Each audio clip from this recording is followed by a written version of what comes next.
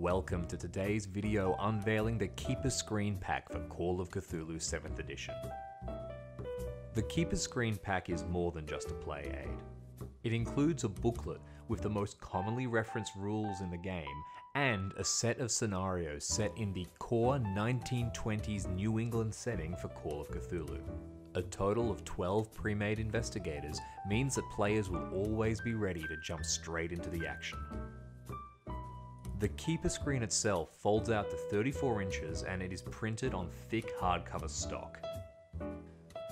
One side features evocative artwork and the other features a quick reference for all of the critical rules of the game. The pack also contains a set of beautiful maps, which will be a useful reference during play and will also serve as a handy reference point for when you're creating your own scenarios for Call of Cthulhu. You can get the Call of Cthulhu Keeper Pack on chaosium.com or at your local hobby game store. Thanks for watching.